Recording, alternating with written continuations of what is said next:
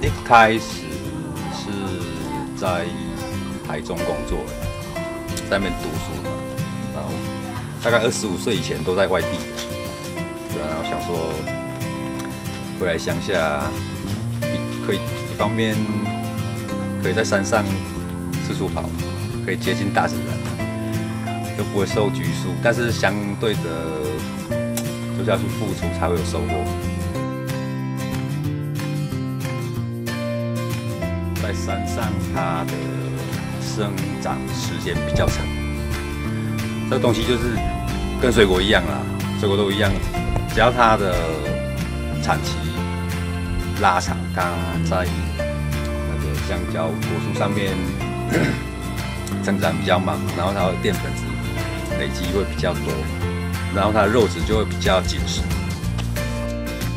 以平地来讲啊，它所以它就有落差。然后再加上是在我们吉吉兰河堰过来，属于高山气候，所以进来它的气候条件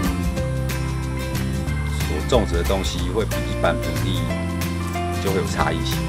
因为它产期会拉长，产期拉长它成熟度够，加上它在山上它的排水算好，它的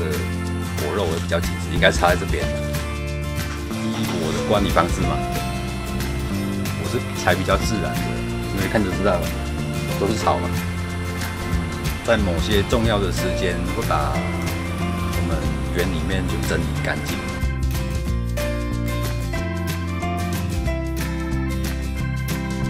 我们从试验所出来第一代，它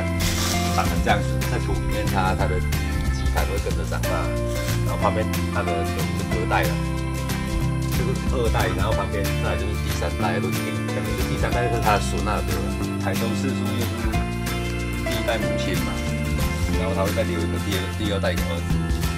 然后相差大概几个月会把他，就是再再就像我们留的第二代要留哪时候采收，去算那个时间这样子，就是一个母亲一个儿子，然后现在母亲已经割掉了嘛，所以他儿子就长大了，所以还是在等他开花。